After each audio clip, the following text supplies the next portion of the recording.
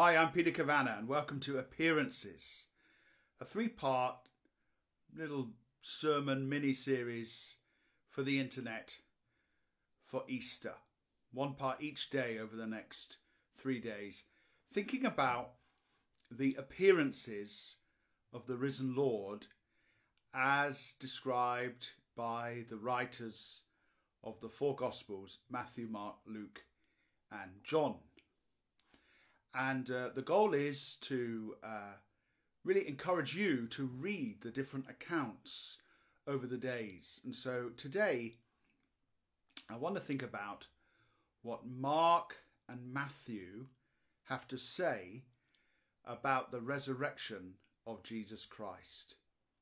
Now, I'm not cheating putting them together because they are pretty similar, as you'll see when you read the accounts. And here's the really interesting thing that comes out of Mark and then Matthew's account, which is this An angel appears to those who've come to the tomb and says to them, Go to Galilee, and that's where he will see you. If you do your reading today, Mark 16, Matthew 28, that's indeed what you'll find that uh, the disciples are sent to a certain place where they will encounter uh, the risen Lord. Uh, in uh, Matthew, we discover it is the mountain in Galilee where he he appears to them. Well, I want to think about what Galilee might have meant to them and what it might perhaps mean to some of us. Certainly for them, Galilee meant home.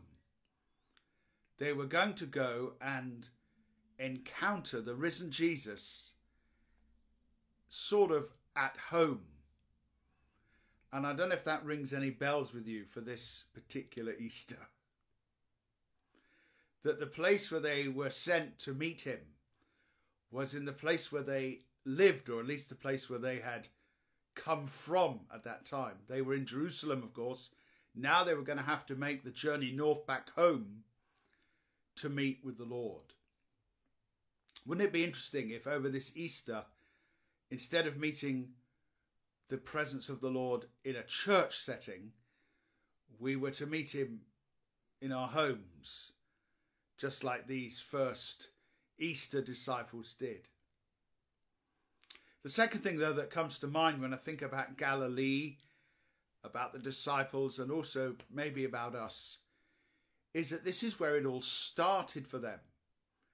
Galilee was where Jesus had come from, from Nazareth, and of course, he operated in, in various towns and cities in that area, I think notably of Capernaum.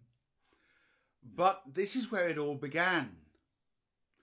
So, in a sense, the Lord was sending them back to where it had all started. This is where they first met the Lord. This is where they first heard his wonderful teachings and experienced his out of this world power. Well, I don't know about you, but for me, one of the things this COVID crisis is doing is it certainly is making me think about getting back to basics. I came to Christ when I was 18. Uh, that was 1988. And uh, I came to Christ, uh, it was either a Wednesday or a Thursday, can't quite remember, but it was midweek anyway. And so I had my first few days as a Christian having gone nowhere near a church. Now, it's perfectly right and proper for me to do so. Had I not been brought into a church, maybe I would never have been consolidated fully into the faith. So I'm not saying we shouldn't go to church. But what I am saying is, in my early days, literally my early days, all there was was me and God and the Bible. Can you imagine in those days? I hadn't even decided what church I liked and what type of church I didn't like hadn't worked out which Christians I'd go I'd like and which ones I'd have to pretend to like. I hadn't worked out what worship music I thought was right and what other worship music I didn't like. I wasn't even scrutinizing the grammar on the on the overhead projector. All that was to come later. My point is this there's something wonderful about being stripped back to basics. I thought of two words that might sum this up simplicity and dependency. Right now, you're watching me on the internet. You're not in church. You're probably not in church over Easter, wherever you are in the world. And yet, I want you to know that the Lord is still very much with you. We have been stripped of some of the things maybe we've come to rely on. And maybe it's been sort of good for us to say, okay, it's me and my God, or my family and my God right now. Before all, the, all those other complicated things which will soon be back with us, before they all come back. And a deep dependency. We're dependent on Him, aren't we, right now?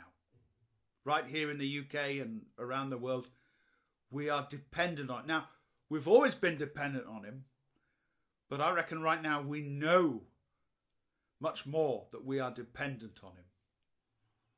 In the past, if we got ill, what did we do? Went down the chemist's, the pharmacy, went to Boots. And normally they had something that would either cure you or help you. You go to the GP, he could write you something. He or she write you something that would either help you or cure you. That's not the case now, as we know. And so a deep dependency kicks in. Lord, I don't know what's going to happen in these weeks and months that lie ahead, but Lord, I am totally dependent on you for my very breath. You alone, Lord, are the giver of life. You alone. And so in Galilee, things are simpler. In Galilee, there is a deep dependency upon him. And what does Jesus say to them? When they get to Galilee, the last verse in Matthew's Gospel, chapter 28, verse 20, Jesus says this to them I am with you always. See you tomorrow, and we'll talk about Luke.